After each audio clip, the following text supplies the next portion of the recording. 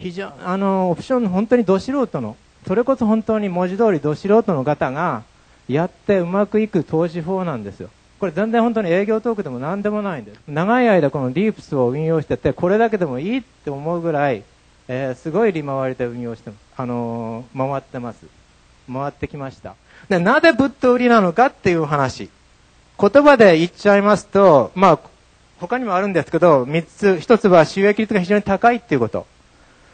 えー、優れたリスクと、リボードっていうのは収益ですね。リスクと報酬の関係が優れてるっていう、バランスがいいっていうこと。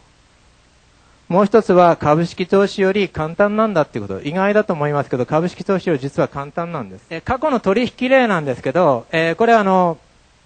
ニュースレターで取り上げた銘柄を、えー、どうだったのかっていう、えー、ことをちょっと検証してみました。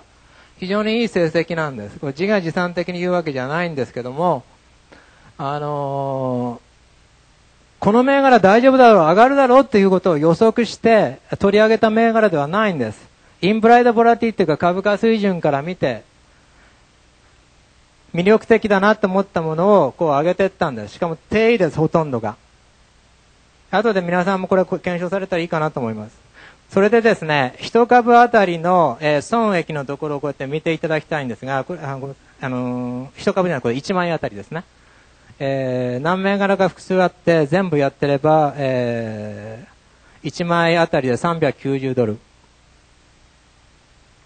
10枚単位でやってれば3900ドルの利益を上げたって、まあ、ことになるんですけど、これ手数料ちょっとか、あのー、入れてません。ただ何をここで言いたいかと、ざっとこう見ていただきたいんですが、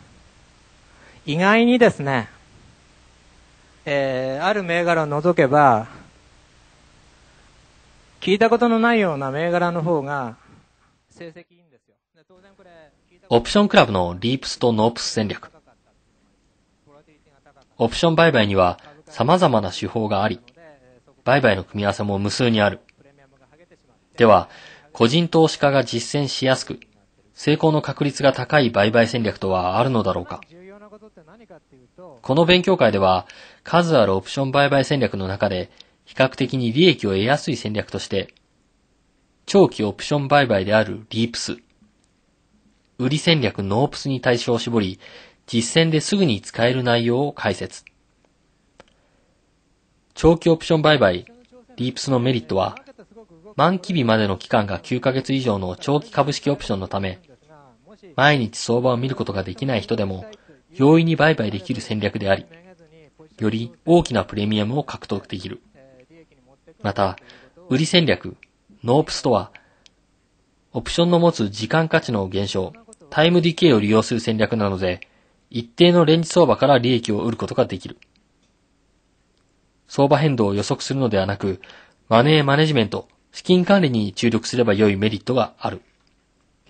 この画期的でシンプルなリープスとノープスを習得して、あなたのマネーマネジメントの役に立てていただきたい。